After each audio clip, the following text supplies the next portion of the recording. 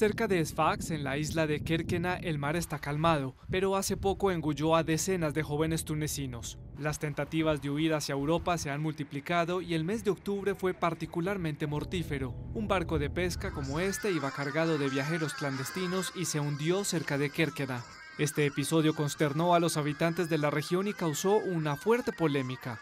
Las familias y los sobrevivientes afirman que la marina tunecina chocó intencionalmente con el barco que transportaba a los migrantes. Muchos fallecieron, algunos rescatados hablan. En un segundo todos estábamos en el agua. Nos dieron por la derecha, sin tratar de desviarse. Escuché a la gente gritar, escuché a la gente orar, escuchaba de todo. Uno no puede hacer nada, no se puede acercar a nadie. No entendimos nada. ¿Será que el barco se había partido en dos? ¿Será que se había volteado? No entendíamos nada. Las autoridades no contestaron nuestras preguntas, pero se comprometieron a investigar el caso y castigar a los responsables cualquiera fuera su jerarquía. Esta tragedia pone en evidencia los anhelos decepcionados de una juventud que se sigue sintiendo abandonada seis años después de la revolución. Riyad Day se presenta como activista de la sociedad civil. Lucha para que se escuche la voz de una población que no tiene derecho a expresarse. Será nuestro guía en Bir Ali y sus alrededores. Entre los jóvenes que fallecieron en el mar, varios provenían de la región. Ahí tienes víctimas procedentes de tres caseríos de Bir Ali, Tidi Daher, Shousha y el Kraima, a donde vamos ahora. Un camino rodeado de chumberas desemboca en un caserío donde la pobreza es tan evidente como la sequía. Estamos en Legraima. Naya Lakmar nos recibe en su humilde casa. Aparte de algunos colchones tirados en el piso, solo están las paredes y el techo. De entrada nos muestra fotos de sus hijos. El mayor ni siquiera había llegado a los 18 años. Se llamaba Nekmedin y tenía 17 años. Mi hijo iba a la escuela, pero aquí los estudios no tienen mucho reconocimiento.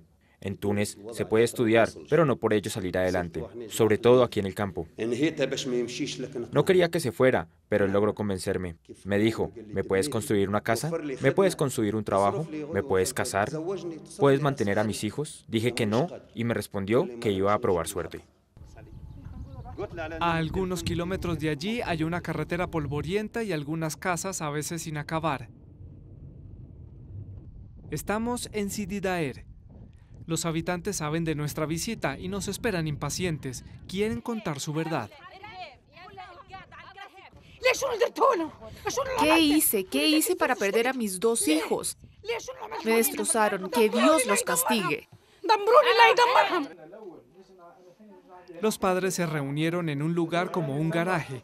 Entre sus manos hay fotos, los rostros de sus hijos desaparecidos. Para estos padres desesperados son la injusticia y la falta de esperanza las que mataron a sus hijos. Culpan a aquellos cuyos hijos pueden tranquilamente ir a estudiar al exterior.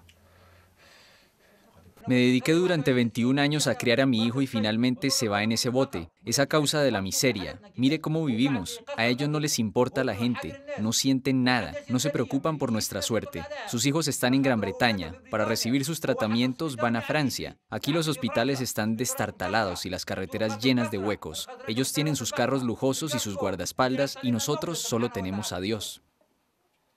Mohamed todavía espera que le traigan el cuerpo de su hijo para velarlo.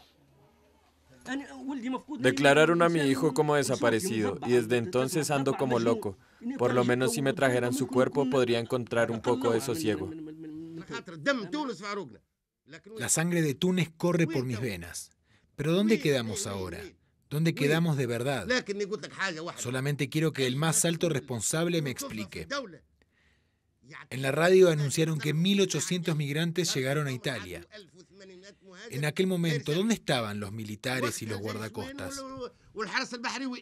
En Bir Ali, a pesar de los peligros, los jóvenes van a continuar arriesgando la vida por un futuro mejor.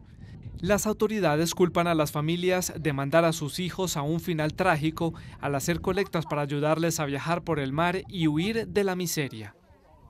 Esta casa en construcción es la de una de las víctimas de Bir Ali, Las obras apenas empezaban como todas esas vidas cegadas antes de tiempo.